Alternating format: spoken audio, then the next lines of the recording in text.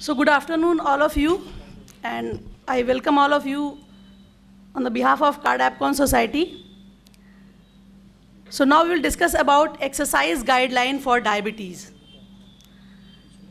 As we all know, that uh, non-communicable diseases are increasing in its prevalence as well as incidence, and the main reason is lifestyle modification. What we have adopt, adopting and uh, more junk food, uh, less physical activity.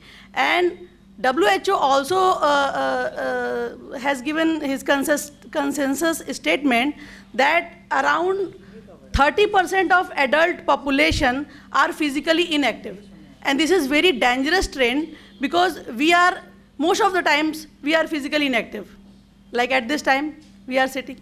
And since long, uh, since this morning, we are sitting over here. So this type of physical activity is daily in our day-to-day -day routine uh, life, like in morning, if we uh, exercise for 45 minutes or one hour, then also for more, whole of the day, um, we uh, used to sit or lie down. So we have to increase this physical activity and exercise. This is the motto of this presentation, and uh, we will discuss exercise for diabetic patient. So in diabetic patient, there is triad of uh, treatment what we will give give uh, nutritional therapy give uh, medication and we'll give exercise. And exercise is actually one of the most important pillar which is very important for diabetes treatment. Exercise is actually a best insulin sensitizer which is available in the market and in diabetes cohort study, it is seen that 40 to 70% of lower mortality rate when we exercise for 8 to 14 years. This slide shows uh, in 1990s when we were slim, our television were, were fatty, but nowadays we are like this and our television is slim. According to American Cardiological Society and AHA guidelines uh, of 2019, uh, they have proposed that adults should engage in at least 150 minutes per week of moderate intensity or 75 minutes per week of vigorous intensity physical activity, including resistance exercise for primary prevention of cardio-diabetes. What happens in long-standing type 2 diabetes? Muscle weakness occur, cardiovascular comorbidities occur, exercise intolerance, and low adherence and compliance. And there is Loss of skeletal muscle mass, strength and function with aging uh, is both causes as well as consequences of type 2 diabetes. Proportional relationship between muscle mass and glucose disposal capacity. So uh, in next few minutes, we will discuss about the definition of physical activity uh, versus exercise, physio physiology of exercise and myokines, capillary density and exercise, evaluation and type of exercise in diabetes prescription of exercise, rescue plan for inadequate exercise, and take home message. So what is exercise? Exercise is a planned, planned or organized physical activity. And actually, it has some intensity and it is important to lose weight. So it has a goal. And what is physical activity? Physical activity is just moving around and reducing sitting and lying time but technology has engineered our physical activity, like I have discussed. Inactivity physiology defined as acute and chronic physiological effect of sedentary behavior and an emphasis on sedentary behavior while not standing in comparison to non-exercise physical activity. Activity energy expenditure is very low during most type of sitting compared to even low intensity movement uh, when standing and outcome is actually in the form of cardiovascular eh, mortality. So when we remain physically inactive for most of the time, then there is loss of muscle mass and abdominal obesity, uh, adiposity, macrophages infiltrate visceral adipose tissue, and there is chronic systemic inflammation. Then insulin resistance, atherosclerosis, tumor growth, impaired bone formation occur, and this leads to type 2 diabetes, cardiovascular disease, cancer, and osteoporosis. Muscle is an endocrine organ. When we exercise, then this secrete myokines. And what uh, myokines do? Myokines actually inhibit pro-inflammatory adipokines, and this leads to reduction in cases of non-communicable disease like type 2 diabetes, osteoporosis, cancer, and diabetes. These myokines increases muscle hypertrophy, adipose tissue oxidation, insulin sensitivity, osteogenesis, anti-inflammation, anti-tumor defense, pancreas function, and browning of fat. All these uh, mechanisms are important, and due to this, they decrease risk of chronic disease and premature mortality. When we exercise, insulin sensitivity increases and GLUT4 receptor upregulation occurs. And this causes more glucose utilization and formation of glycogen, lipid, and protein synthesis. During first few minutes of exercise, glycogen in the muscle is broken down anaerobically. And from 5 minute to 20 minute, glucose, uh, uh, hepatic glycogenolysis occur. After 20 minutes, non-esterified free fatty acid utilized for the glucose production and gluconeogenesis, hepatic gluconeogenesis occur. So if we want to lose weight, we have to exercise more than 20 minutes. If we exercise, in, uh, if we do intense aerobic exercise, then this uh, phenomena of gluconeogenesis increases by sevenfold. So for weight loss, this is uh, uh more reliable to do intense aerobic exercises. Role of physical activity, this physical activity actually improves HbA1c, improve insulin sensitivity, uh, mm, reduce uh, cardiovascular uh, risk factor and uh, this actually uh, causes weight loss and lower cardiovascular and overall mortality. Effect of exercise, in acute phase, exercise result in translocation of glucose transporter to the plasma membrane and increased glucose uptake. Whereas for prolonged exercise, there is upregulation of glucose transporter number, changes in capillary density, which overall causes an improvement in insulin sensitivity. Even short-term regular aerobic exercise in type 2 diabetes patient result in significant improvement in both aerobic capacity and whole body insulin sensitivity. Whereas long-term endurance training in diabetic patient markedly improves whole body insulin sensitivity and the expression of key muscle enzyme regulated by insulin. However, the maintenance of this effect seems to require dedicated to a regular and uninterrupted exercise regimen. So we should exercise for a long-term period and for a longer duration. Intramyocellular lipid accumulation, which is associated with insulin resistance in muscle, can be uh, acutely decreased by even a single bout of sustained endurance exercise. This is very important. Intramyocellular, uh, in, intramyocellular lipid accumulation is decreased and exercise is beneficial for both glucose uptake mechanism and anti-lipolytic effect of insulin. What are the potential adverse effect of exercise?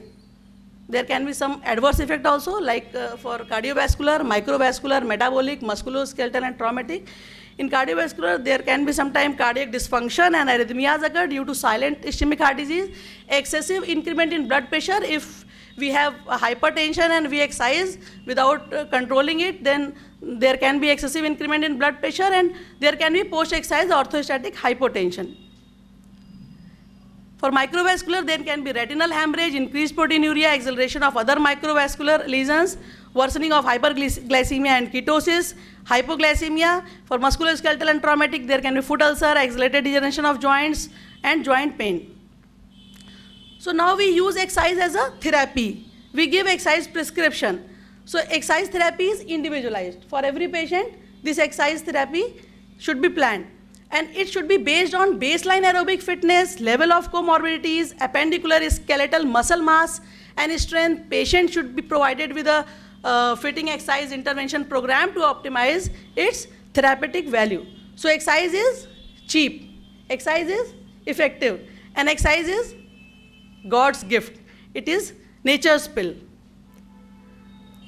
Prescription should focus on increasing duration and frequency of exercise. We should gradually increase the duration and frequency using an intensity the individual can sustain for long period of time. We cannot uh, uh, give tasks like uh, a, a, person have to exercise one hour uh, in a single day. We can increase the duration gradually over the period of time. Gradually increases the duration and frequency to one hour, seven days a week. M means we should do actually for whole of the week, if it is possible. Type of exercise, exercise progression, three to five days per week, and we, sh uh, we should uh, expend 1000 kilocalorie per week through exercise and individualization of program type 2 diabetes usually very low fitness level uh, so we have we should individualize for every patient. Exercising alone or with supervision so we should uh, uh, keep uh, watch and as a doctor and we should go for periodic evaluation. If patient blood sugar is high if it is more than 300 milligram per deciliter then we should postpone exercise consult physician. If blood sugar is 100 to 250 milligram per deciliter, then we can go for exercise. And if it is less than 100 milligram per deciliter, then please consume 20 to 30 gram of carbohydrate prior to exercise. We should evaluate patient for cardiovascular fitness by uh, TMT test, uh, Karvonen formula, Borg scale of uh, perceived exertion. Uh, what is Karvonen formula? In Karvonen formula, we calculate target heart rate with this formula and uh, then we we can uh, assess patient uh, uh, uh, patient capacity on this Borg dyspnea scale. And we should keep patient on this yellow zone during exercise. We should try to keep patient around this yellow zone. Means uh, if patient feel somewhat hard or hard during walking. Not not very light fairly light or very very light zone so we should keep patient at yellow zone.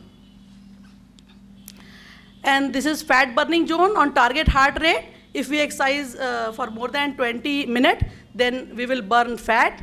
And we should not go more than uh, target heart rate, otherwise uh, we will uh, uh, land up into the danger zone, which is metabolically dangerous.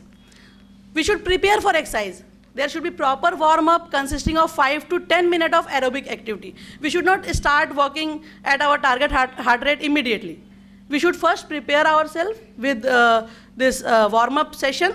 Then we should do activity session for around 15 to 30 minutes. We can go up to the 45 minute. Cool down, uh, then, then there should be cool down. Cool down should be structured similarly to the warm-up and should last about 5 to 10 minutes. So we should start with uh, warm-up period, then we should continue on our target heart rate for uh, at least uh, uh starting, in starting we should uh, uh, go up to 15 minutes, then we should reach up to the 45 minute or more than that, depending, depending upon the patient profile, and then cool down session. So types of physical activity, we can remember this like safe, st strengthening exercises, aerobic exercises, and flexibility exercises. All these exercises should be planned in exercise prescription. Aerobic exercise, aerobic exercise is the type that moves large muscle group and causes you to breathe more deeply and your heart to work harder to pump blood. It's also called cardiovascular exercise. It improves the health of your heart and lungs. So we, we are running, we can jog, we can uh, swim. All these exercises are, we can uh, brisk walk. All these exercises are aerobic exercise. Resistance type of exercise is for muscle mass, muscle strength and functional capacity. This is push-pull type of exercise. Push, pull, lift. Uh, progressive resistance type exercise training offer a safe and effective alternative to endurance type uh, exercise training. And acute bouts of resistance exercise improves insulin sensitivity to a similar resistance as endurance exercise. Resistance type exercise uh, improve glucose disposal, glycogen storage capacities, GLUT4 content, glycemic control, body composition, cardiovascular profile, we have discussed. And what they increases? They increases health, uh, muscle strength, muscle power, local muscle uh, endurance, muscle motor performance, flexibility, all these are good effects of uh, resistance exercise. Then anaerobic or resistance exercise, uh, usually what we do, we uh, use McQueen technique in which 10 lifts with uh, 10 repetition per minute or uh, we can uh, do 40 lifts three times weekly and progress to 10 repetition per minute every one to two weeks. Progress means we can increase up to this. Contraindications of resistance exercise, these are uh, cardiovascular uh, uh, morbidity and uh, complication associated with diabetes like retinopathy, nephropathy, neuropathy, and we should monitor blood glucose what ADA position statement uh, says about resistance exercise. In the absence of contraindication, people with type 2 diabetes should be encouraged to perform resistance exercise three times a week. Most of the times, uh, usually uh, people walk, walk and walk. So we should definitely introduce resistance exercise in diabetic patient. And in every patient actually, not only in diabetic patient. For primary prevention of cardiovascular disease also we should uh, uh, introduce this resistance exercise. Then stretching. Flexibility exercises are aimed at increasing or maintaining range of motion at joints, also improve tone in muscle and keep it uh, uh, its supply. They develop better muscular and body control. So they prevent fall.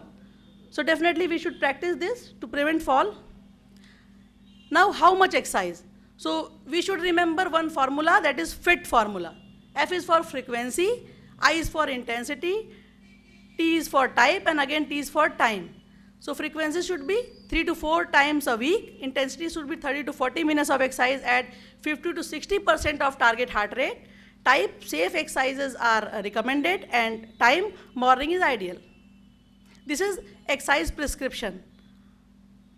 Weekly, uh, means gradually we are increasing the target heart uh, zone exercise. You can see this uh, during first uh, week, we walk normally five minutes during warm up, then target heart zone exercise, we start with five minutes and we increase in up to 12 week up to 30 minutes.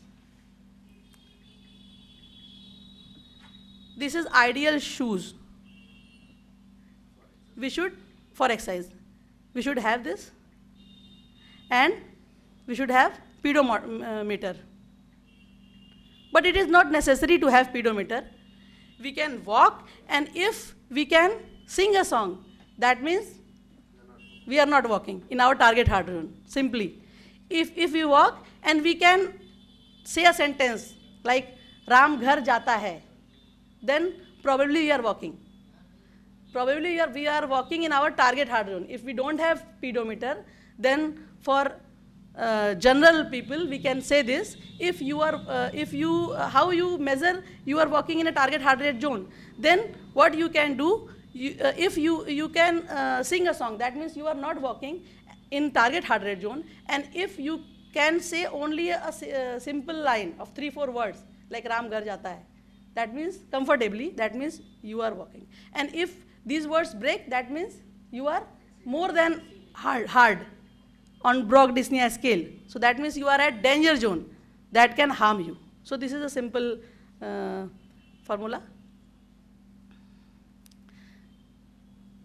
So this is exercise prescription by a doctor and he actually counsel his patient and he says, what fits your busy schedule better, exercising one hour a day or being dead 24 hour a day?